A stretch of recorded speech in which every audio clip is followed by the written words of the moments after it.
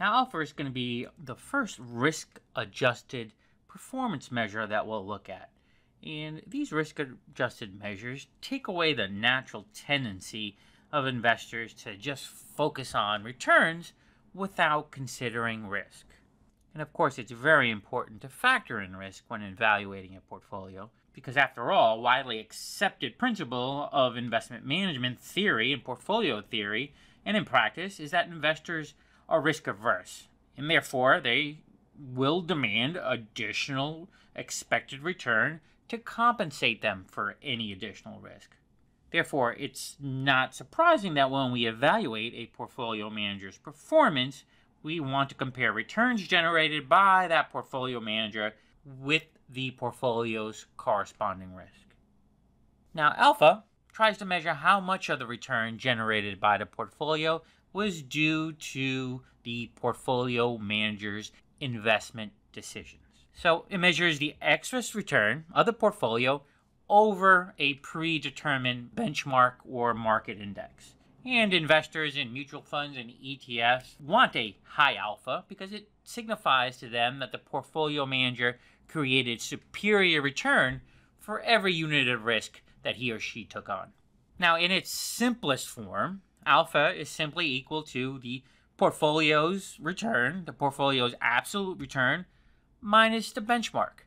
And that is the simplest calculation for alpha. As a result, if alpha is greater than zero, it means that the portfolio manager outperformed the benchmark, and vice versa. If it's less than zero, it indicates an underperformance. Now, Jensen's alpha is a different take on alpha in the sense that it uses the CAPM framework in the security market line to form a benchmark to compare the portfolio to. It's also sometimes referred to as ex post alpha. Now, with Jensen's alpha, the measure is the difference between the portfolio's return and the required return as calculated by the CAPM model. In here, you'll see that familiar CAPM formula where the expected return on an investment or portfolio is equal to the risk-free rate plus beta times the equity market risk premium or the return on the market minus the risk-free rate. Now, if these two do not equal, alpha is present. And alpha is usually depicted by the Greek symbol for alpha.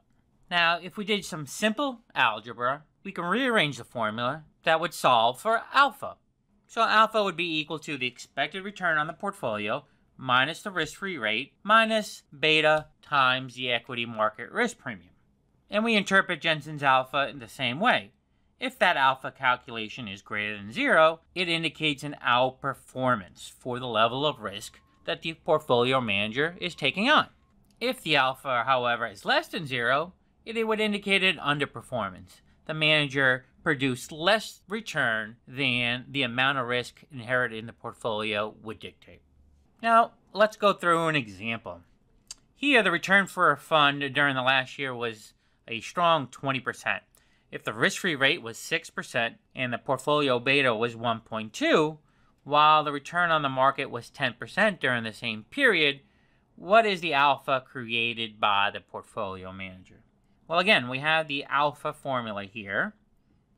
So if we plug our data points into the formula, we know that the return on the portfolio is 20% minus the risk-free rate of 6% and then minus 1.2, which is beta, times the equity market risk premium of 10% minus 6%. And here you can see that the alpha produced by the portfolio manager is equal to 9.2%. Now, it's important to note that the 9.2% is less than the difference in the portfolio minus the return on the market, which was 10%. And that's because the portfolio manager took on more risk than the overall market, as indicated by the beta of 1.2.